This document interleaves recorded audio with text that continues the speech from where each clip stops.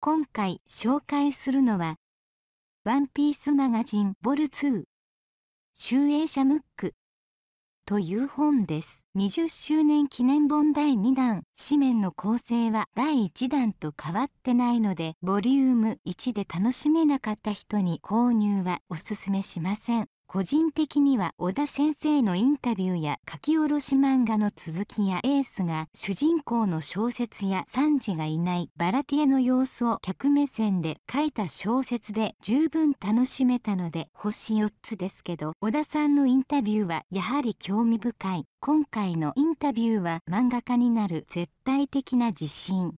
小学生や中学生のと記憶好きでよく聞いてたもの。ああなるほど。小田先生が考えるワンピースのギャグは自分が勘違いしてなければそういうところから来てたんだ。とかキャラを作るのが得意なこととかすごく楽しかったです。今思えばなんか鳥山先生との対談ありましたよね。もう買えないのかな？